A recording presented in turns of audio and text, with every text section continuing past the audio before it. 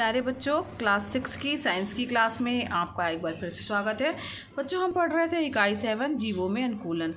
ये चैप्टर हम लोगों ने कंप्लीट कर लिया है, पढ़ लिया है और इसके अभ्यास प्रश्नों को हम हल कर रहे थे।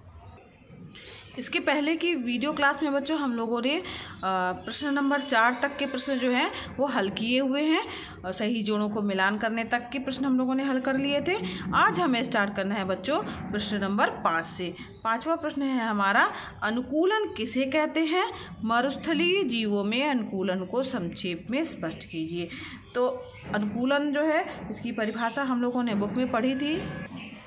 बच्चों चैप्टर पढ़ते समय हम लोगों ने पढ़ा था कि आकृति, आकार रंग रूप संरचना तथा आवास संबंधी लक्षणों में ऐसा परिवर्तन जो सजीवों को विशेष पर्यावरण में सफलतापूर्वक जीवित रहने में सहायक होता है, अनुकूलन कहलाता है। तो यही परिभाषा आप लोगों को लिखनी है।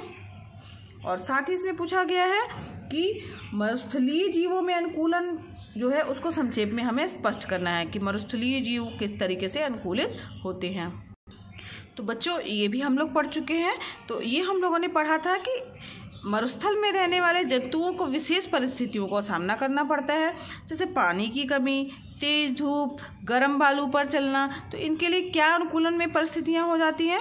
तो उपयुक्त परिस्थितियों के समाधान हेतु तो जो मरुस्थलीय जंतु हैं, उनमें जल संचय खुरदुरी त्वचा, अधिक बाल, लंबे पैर तथा गद्देदार तलवे रेगिस्तान में दौड़ने के लिए अनुकूलित होते हैं। जैसे एग्ज़ाम्पल के लिए ऊँट, ठीक है?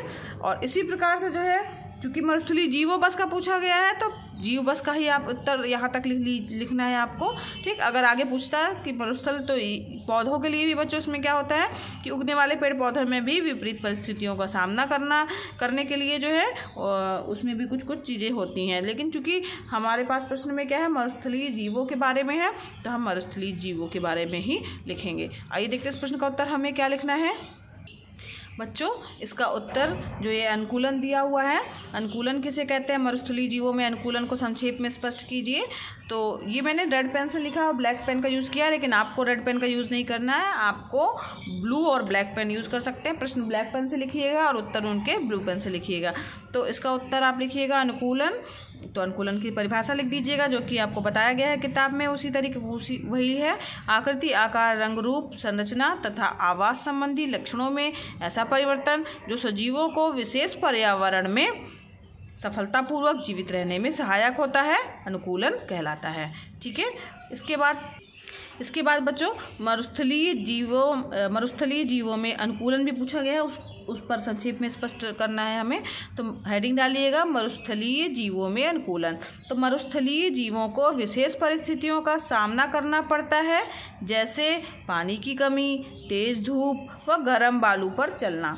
उपयुक्त परिस्थितियों के समाधान हेतु मरुस्थलीय जीवों में जल संचय, खुरदुरी त्वचा, अधिक बाल, लंबे पैर तथा गद्देदार तलवे रेगिस्तान में दौड़ने के लिए अनुकूलित होते हैं, जैसे ऊँट आदि। ठीक है? तो ये इसका उत्तर हो गया। बड़ा दो बार लगेगा, मात्रा ऊँट आदि। ठीक? अब अगले प्रश्न की ओर बढ़ते हैं।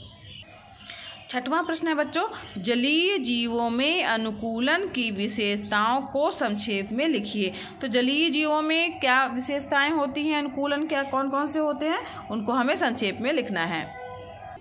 तो बच्चों, इसका उत्तर जो है, हम जलीय अनुकूलन जब पढ़ रहे थे, उस समय हम लोगों ने पढ़ा था कि जलीय जो जंतु होते हैं, जैसे मछली हो गया ना तो जो जलीय जन शरीर रहते हैं, सबसे पहली बात जलीय अगर जीवधारी हैं तो उसका मतलब है वो पानी में रहेंगे। तो उनका शरीर जो है वो पानी में रहने के लिए अनुकूलित होगा। तो उसमें शरीर में कुछ विशेष जो है रचनाएँ पाई जाती हैं जिसके कारण जो है उनके शरीर की सुरक्षा होती रहती है और उनको जो है अनुकूलन रहता है ताकि वो जीवित रह सके। तो जो जलीय जंतु मछली के शरीर पर जलरोधी जल्क पाए जाते हैं श्वसन के लिए विशेष रचनाएँ होती हैं जैसे गिल ठीक है? या गिल्स बोला जाता है उसको। हम्म, तैरने के लिए इनका शरीर जो होता है वो धारा रेखित होता है और चपटा होता है, चपटे पंख वाला होता है। और गर्दन जो होती है, इनकी नहीं होती है। गर्दन का क्या होता है? अभाव होता है तथा आँखों पर निमेशक पटल होती है। ठीक? तो ये किस ये किसका अनुकूलन है? जलीय जीवों का अनुकूलन है। इसके साथ ही बच्चों, सभी लक्षण मछली के जल में तैरने, भोजन की तलाश तथा श्वसन के प्रति अनुकूलन हैं। इसी प्रकार अन्य जलीय जंतुओं में भी अनेक प्रकार की विशेषताएँ पाई जाती हैं, जिनके कारण ही वे जल में निवास कर पाते हैं। तो ये हमारा जलीय अनुकूलन था। तो जलीय जीवों के बारे में पूछा, ये आगे, इसके आगे जलीय पौधों में भी अनुकूलन की हम लोगों ने चर्चा की थी। तो हमें लेकिन प्रश्न में पूछा गया है जलीय जीव के बारे में तो हमें केवल मछली और ये जलीय जीवों के बारे में लिखना है अनुकूलन को। तो इसका उत्तर आइए देखते हैं, किस तरीके से लिखिएगा। यही उत्तर लिखना है, जो ये दिया गया है बुक में।